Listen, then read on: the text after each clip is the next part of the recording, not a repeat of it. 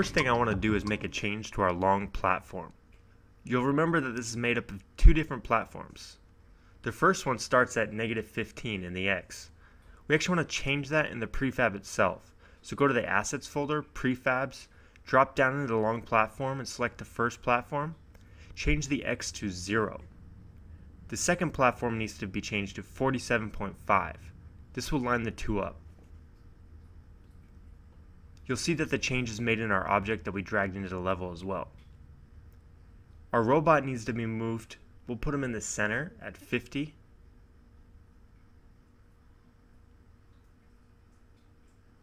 The camera that follows him also should start out where he starts out, so 50 in the X there as well.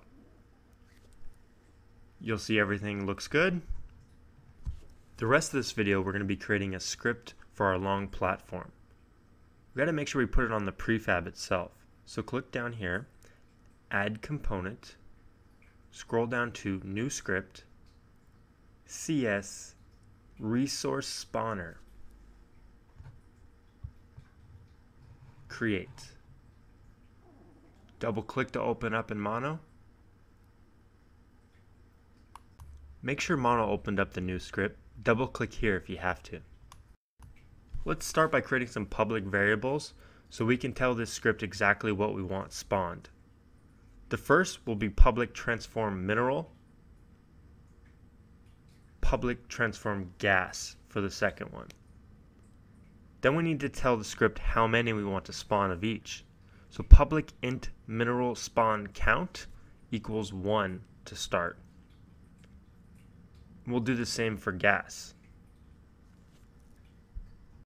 We'll want to create a list to actually store all of these spawn minerals. So let's import a new class here. System.collections.generic. We're going to make this list private and it's going to hold transforms and we're going to name it resource list and you have to instantiate it like this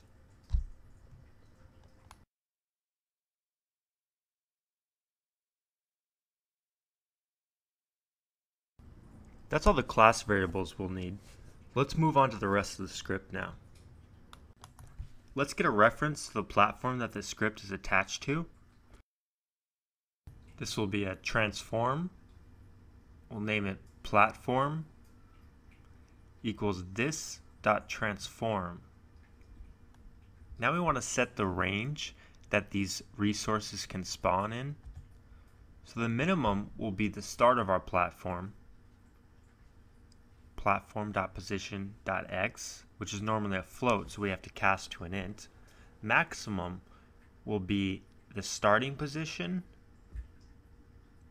plus about 93. Int x will store the position of the resource that we're about to spawn. Transform spawned resource this is the resource we just spawned. We're going to use a for loop to spawn as many instances of minerals that we need. i will be initialized to 0. As long as i is less than the mineral spawn count that we set, we'll tick up i each time we go through this loop. We'll set the starting position each time we loop through. So x will equal a random number using random.range minimum and maximum positions using that min and max variable we created earlier. Now that we know the starting position, we can create a mineral instance. We're going to use the spawned resource variable to store it. We need to cast it to a transform, and this is done using the instantiate method. We'll have to tell it that we're spawning a mineral, we need to tell it where using new vector 3 and setting the x position that we just created here. And for y, we want to use the negative 4.5f that we've been using. The z will be 0. And we also need to set the rotation like this.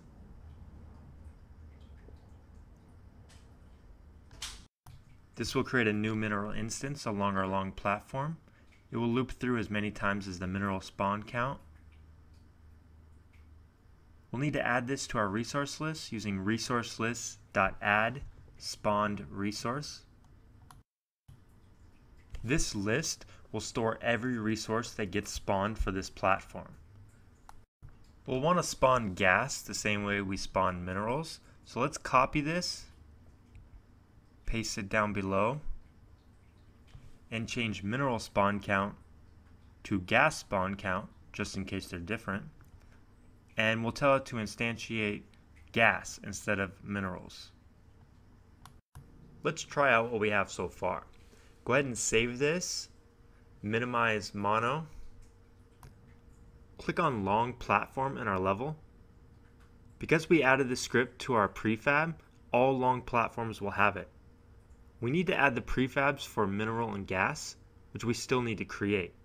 Open up your prefabs folder, drag in the gas trigger and the mineral trigger, then remove them from your level. Click the long platform again. Now we can drag the prefab straight from the prefab folder. So mineral trigger goes here and the gas trigger goes here. This script should create one gas and one mineral instance. When we play it, that's what we see with one on each end of the platform in their random positions. Let's try this with 10 instances of each. Now when we play, we'll see a lot more gas and a lot more minerals. There they are. We'll also see an issue. Some of these overlap because the X positions are right next to each other. There's even three on top of each other here. In order to fix this, we're going to have to make a change to our script, which will be the last thing we do for this video. Find and open up the resource spawner script again. Scroll to the bottom. We're going to add some new code under our old code.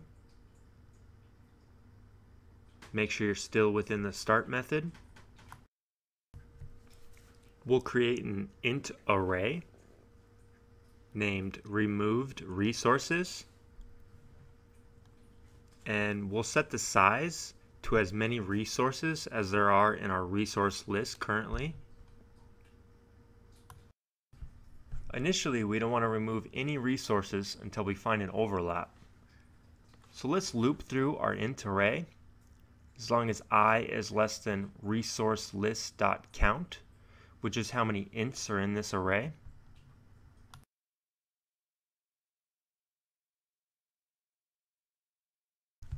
Each time we loop through, we want to take element i and set it to 0. That's how we're going to initialize this int array.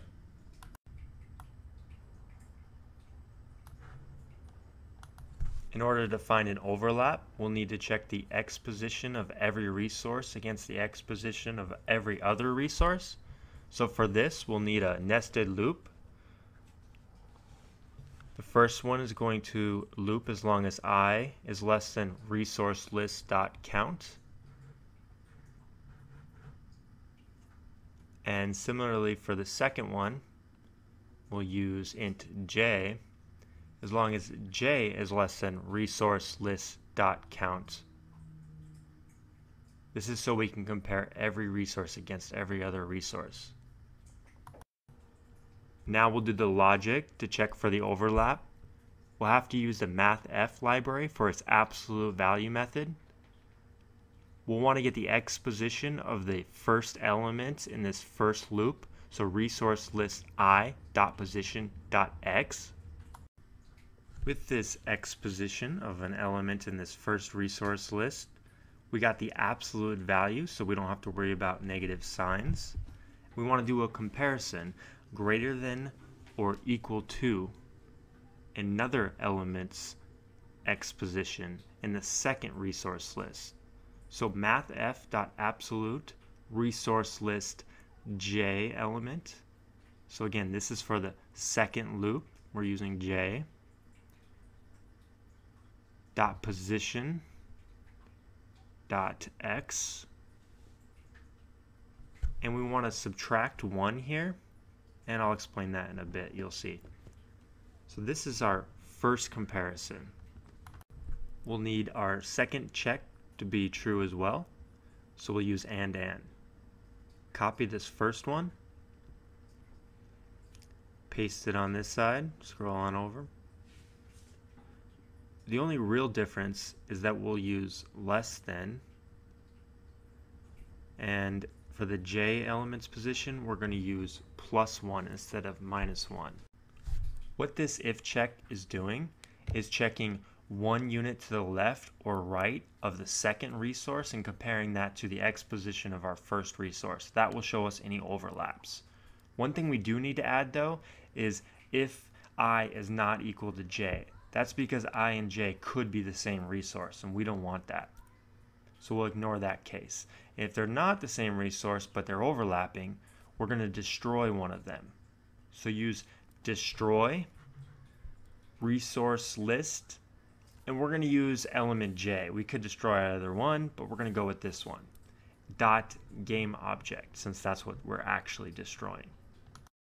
We're not going to remove the resource from our resource list yet, because then it would mess up our loop.